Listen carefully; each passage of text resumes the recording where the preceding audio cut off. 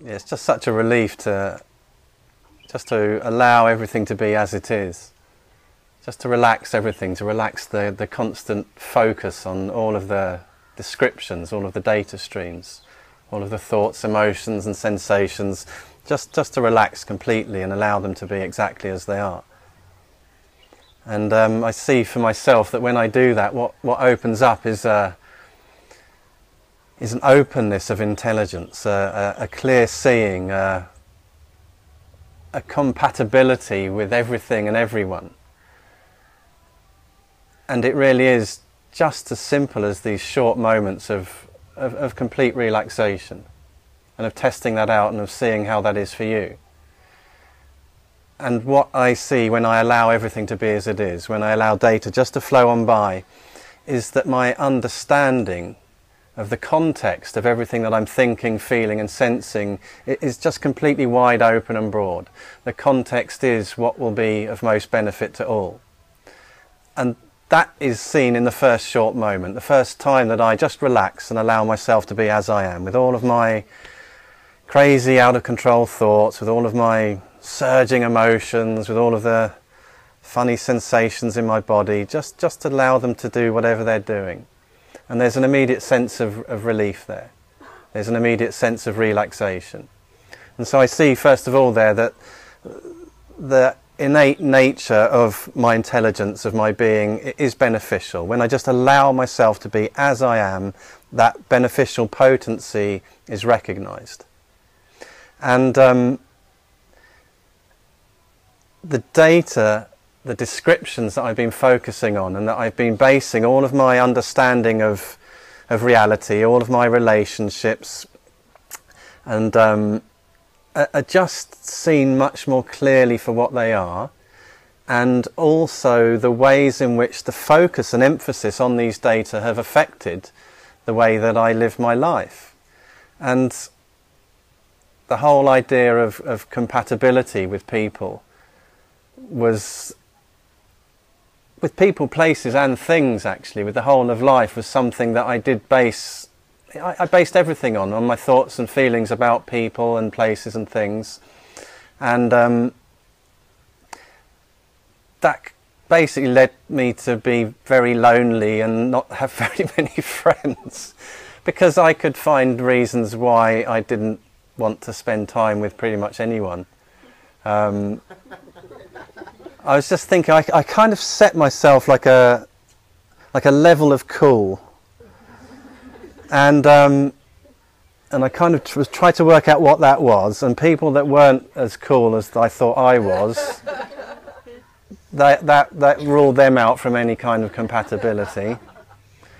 But then the problem was that there were always people that were cooler than me, and that was really difficult because I felt really. Um, really challenged by that, and really, you know, well, I'm supposed to be cool, but these people are obviously much cooler than me and, and that was really difficult. So they were ruled out from any kind of compatibility. And so trying to find the people that were on my level of cool was really difficult because then some of them were younger than much younger than I was, and that ruled them out from compatibility. And then some were much older, and that obviously ruled them out too. And then I'd meet people on that level of cool who, who I was really attracted to. And that was just so difficult. Because you know when you're really attracted to someone it, it's and you're focusing in on that data stream of attraction it's like the, the tongue swells up. You can't look at them. You can't even be in the same space as them. And so that ruled them out for compatibility. Um, I don't think any of my family were cool so I wasn't compatible with them I wasn't compatible with England. That was obvious. Um, and and I, it was it was it was really funny when I sort of went through the empowerments just to see how the emphasis on all of these ideas I had about who I was and how that idea of who I was had implications for all of my relationships and and just to relax those ideas in each short moment was for me was just incredible and um, it's just made everything much easier You know, really, really much easier. And I see that all of the ideas I had about everything and everyone and, and myself, uh, it's just this dynamic energy of open intelligence. It's continually changing. So my idea about how cool I was would go up and down, and you know, some days I just thought I was so cool, and other days I just just a complete idiot. And um, so to really get real with everything, to see everything as this bright shine of mind, and it wasn't something that I needed to manage anymore. But that training, that education I'd had in, in trying to manufacture this identity and then uphold it, desperately and then de defend it um, was, was just something that I'd learned. It was, it was all learned ideas from other people and the media and, uh, and then telling myself these ideas until they really seemed real but, I saw in each short moment that the actual reality of all of these ideas was that they appeared spontaneously. They, they, were like rainbows appearing in the sky. So they were really vivid, really bright and clear, and yet there was not really anything there that I could hold on to. You know, they, they self-release naturally. You know, in the same way that, that mist just evaporates in air in, in, in bright sunlight. There, there's no effort involved there. And, and that was the same with all of my ideas about anything. And so I slowly began to see that I could just relax with everything. I didn't need to put this constant focus on all of these ideas, on all of these sensations and emotions, and I could just allow them to be as they were. And at the beginning, that seemed actually quite scary because I'd, I'd never done it before. How, how do I know it's safe to do that? What, what's going to happen when I do that? And, and that's one of the beauties of the, the practice of short moments is that I, I could test for myself what it was like to um, just to relax with really strong at attraction for someone.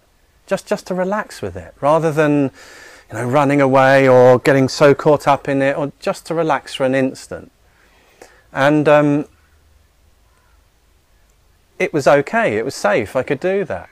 I could relax with my feelings of irritation and anger around people as well. Um, that gave me lots of opportunity to practice. And, um, and what began to shift there was that rather than focusing only on the descriptions, it became more obvious to me that this openness of intelligence that you identify when you just stop thinking for an instant was the basis of all of my thoughts and emotions and sensations too. It didn't just um, disappear as soon as the next thought came. It was the basis of everything that I was thinking, feeling and sensing, including all of my opinions and ideas about everything. And that when I allowed those opinions and ideas just to flow on by, this openness of intelligence just very naturally became more obvious. And when I related to myself and to other people based on this openness of intelligence rather than all of these ideas I had about everything, then the relating was easygoing. The relating was, was open hearted. There was a, a kindness and a natural gentleness there that um, was really delightful for me to discover. And it was it was innate. This, this open-hearted relating, this, this openness of mind was actually the way that things really were.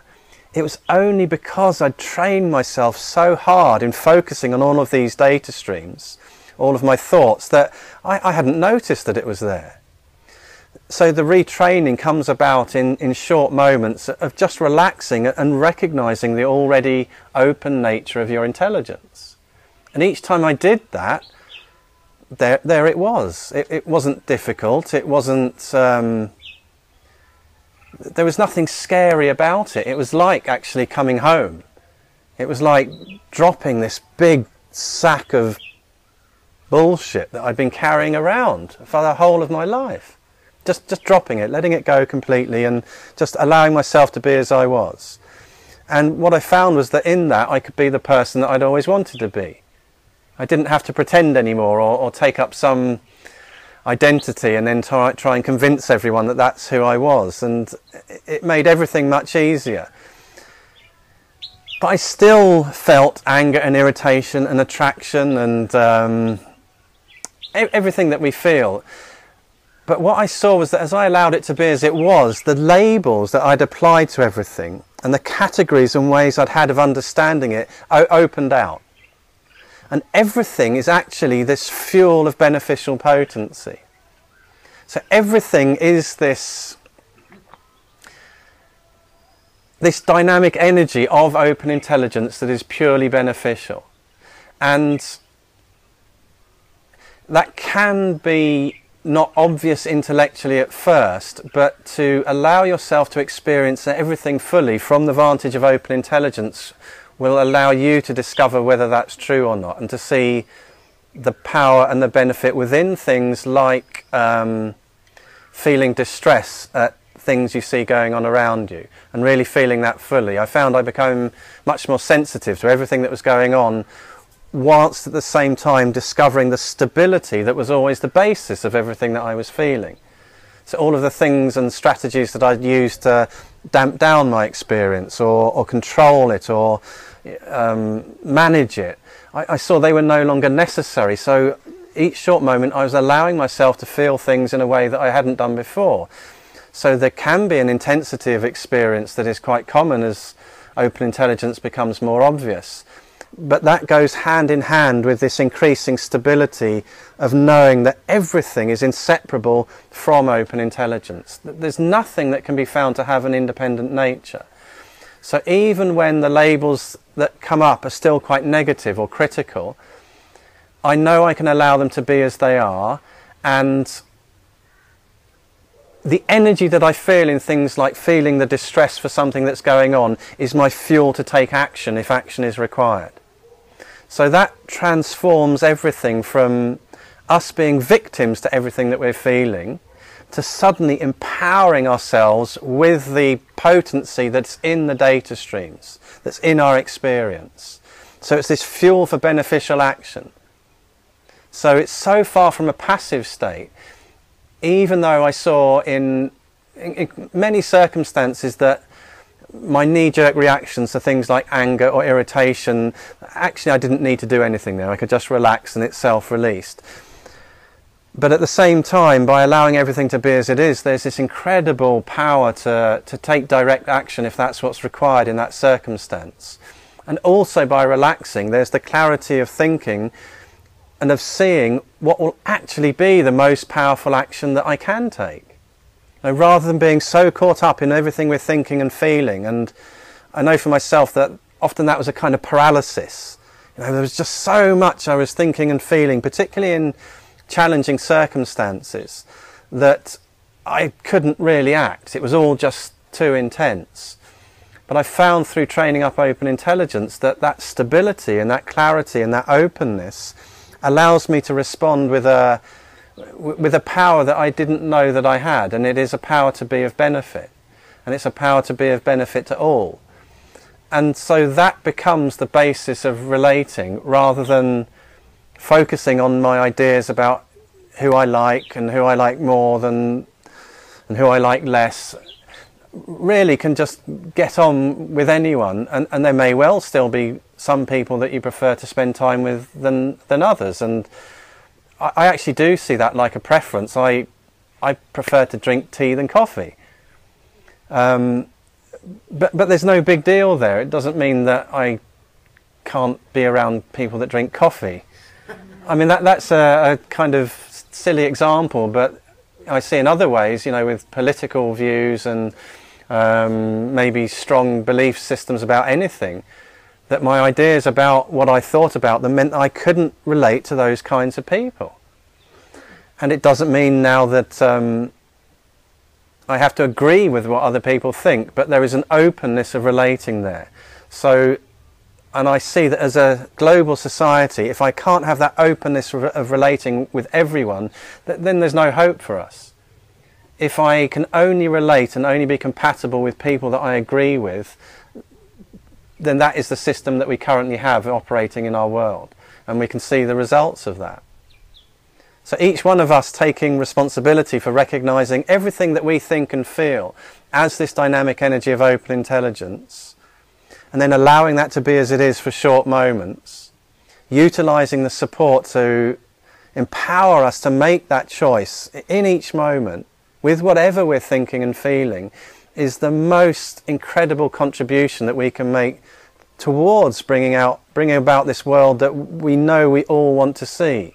You know we, we know somehow i've always known that you know we could live in a world that was incredible where people got on you know as a child that, that's obvious i remember as a child discovering like war and, having no comprehension of why, why, why adults killing each other what, over an idea because they believe that and they believe the other one and they're killing each other. What?